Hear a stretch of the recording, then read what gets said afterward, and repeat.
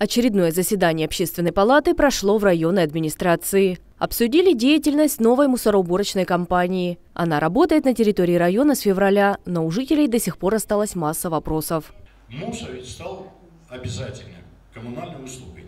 В отличие от того, что вот он такая, такая же услуга, как свет, вода, канализация, но на эти услуги есть узел учета. На мусор нет узла учета.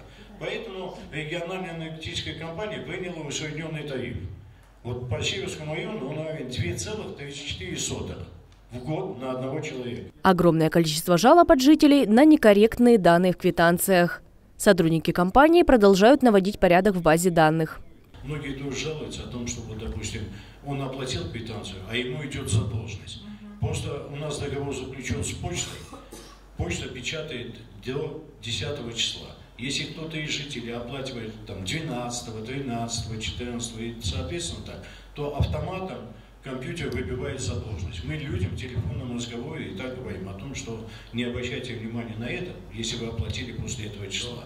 Многие моменты в деятельности компании нужно дорабатывать. Помешковый сбор мусора нужно заменить контейнерными площадками. Администрации района и поселений будут продолжать работу в этом направлении. Постоянное отключение электроэнергии – еще одна важная тема для разговора. У нас на этот год 74 объекта в ремонте. На данный момент отремонтировано 45. Но я не буду говорить по, по, тип, по, по типам оборудования. Это и трансформаторные подстанции, и линии низковольтные, и линии высоковольтные. 45. Остальные все как бы до 20 сентября стоит задача как бы эти работы выполнить. Поэтому это связано с отключением. Мало того, э, капремонт этих подстанций связан просто с заменой оборудования. Если раньше мы ремонтировали, мы, я имею в виду раньше Кубанэнерго, сейчас Россети, мы ремонтировали, меняли тот же провод на тот же провод, да, и прочее. Сейчас меняем на этот изолированный СИП.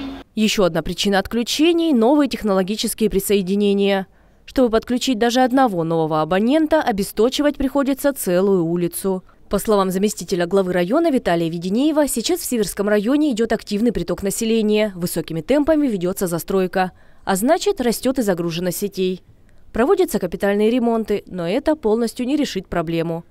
Планируется строительство нового питающего центра в станице Северской, который должен справиться с новыми нагрузками.